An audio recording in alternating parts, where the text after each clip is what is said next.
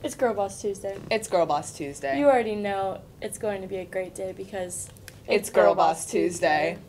Before we get started today, it's National Telephone Day, so feel free to call Shane Perdew. His number is 740-475-JK Thought.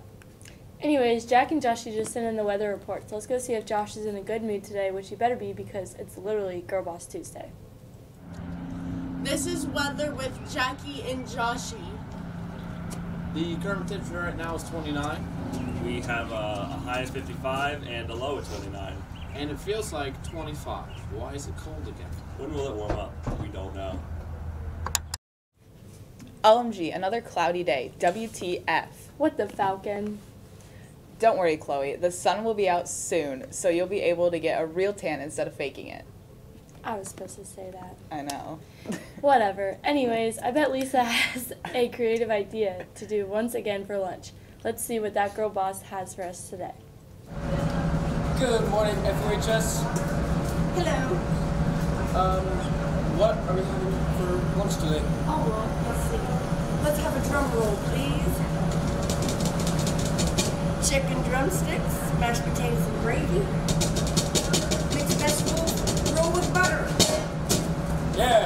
Great day. Mm-mm, yum yum. She makes me look forward for lunch so much more. Okay, Chloe, I'm done hearing your voice. I need a break. Caitlin, are you ready for birthdays?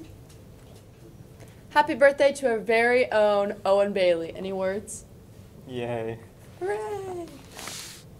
Happy birthday to another media student. How hope you have a fab day because you deserve it. XOXO. Sports. Good Tuesday morning, birds. I'm Isaac Smeltzer, and this fella helping me with the sports coverage is Noah Patterson. Hey guys, I love sports and absolutely do not care who knows. The softball birds had a, had great energy and a team win over Liberty Union last night. Rachel Patterson was the winning pitcher. Jenna Brown had two hits, including a home run. Adeline Wolf pitched in two hits also. Kara Fuller had two of the seven stolen bases of the night. The Falcon baseball team picked up a 2-1 league win over Liberty Union.